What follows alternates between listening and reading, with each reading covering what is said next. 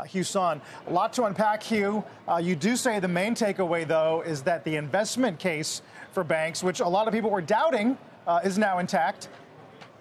Yeah, I would say so, Carl. Great to be with you. So, what you saw today out of JP Morgan, Wells Fargo, is that their net interest income ju- jumped by 45 to 50% at each bank.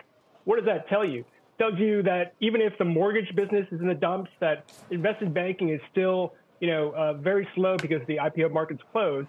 It doesn't matter. But the main core activity of what they do, which is to earn a spread between what they pay depositors and what they can earn from either investments or making loans, that that spread is still very healthy and is getting better, actually, in some ways. You know, the thing that is pumping JP Morgan today is they actually said that net interest income is going to be $7 billion higher this year. So it's going to be 81 billion versus the 74 billion uh, guidance just a few months ago. And that's that's really pushing the stock up. That that is based, Carl, on the assumption that there's going to be interest rate cuts later on in the year, and essentially that they're going to have to that JP Morgan is going to be able to pay less to some of their savers, less of these hot money, really high CD rates later on in the year as rates go down. What happened with PNC, Hugh? I, I thought it was a good quarter. Yeah, I mean, look, PNC is another story. I mean, they they are one of the one of the bigger regionals in this space, and you know, I haven't covered that closely, but you know, I, I do know that they're exposed certainly to some of the things that we're concerned about in CRE, certainly some of the things that we're concerned about in terms of deposit flight, and that they're not in the same position as the J.P. Morgans and the, and the Wells Fargo's of, of, the world in terms of being a, uh, a sort of a, flight to safety uh, beneficiary. Hugh, uh, it feels like, you know, Dimon had an opportunity on the call this morning to warn us about the rest of the space from which we've not yet heard. Uh, but his commentary was more surgical, like, yeah, maybe there need to be tweaks to regulation, but not, in his words, not a revamp. Yeah, yeah, Carl, he, he said a couple of things of note. He said that, uh, and I assume that his intel is, is very good being Jamie Dimon, but he said that you're going to actually see really good results out of most regional banks starting next week.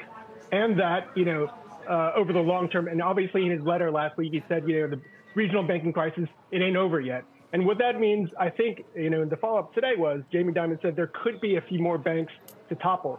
So I think, you know, the regional banking readout is mostly good.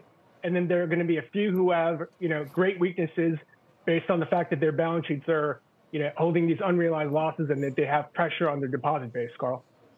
The other big concern going in, and there were a lot of them, Hugh, about the economy was that these banks would just stop lending, right? And that and that everyone was worried about credit tightening and, and rising standards. And I thought the commentary on the economy from a lot of these bank CEOs was actually very benign, considering they've been a negative bunch before. Yes, Sarah. So they're still making loans, and, and you have to understand that they don't bank everybody in the country. They are preferentially banking, you know, the, the people who are generally better off, higher income folks, people with actual assets to their name. And so, you know, they feel like these people are good credits. They're going to continue. Uh, Jamie Dimon was asked this about about a potential credit crunch, and he said, you know, we we aren't going to, you know, drastically uh, pull back on credit. He did, however, hint that there is the risk that the banking system as a whole pulls back uh, because as we get closer to recession, people are going to be risk off. Hey, finally, Hugh, any uh, read throughs on Goldman, Morgan Stanley next week we start paying a little more attention to capital markets activity? I, am going to say that they're looking pretty good today because if you saw the results out of fixed income at, at both JP Morgan uh, and some of the other banks, uh, they look really good. They, they actually outperformed JP Morgan did by roughly $400 million, exceeding uh, expectations on fixed income. And as you know, Goldman and Morgan Stanley both have sizable trading operations. They're going to look pretty good there, Carl. Hugh, appreciate it. A good wrap up, and there's a look at what uh, what's coming our way in the next five sessions. Uh, Hugh Son.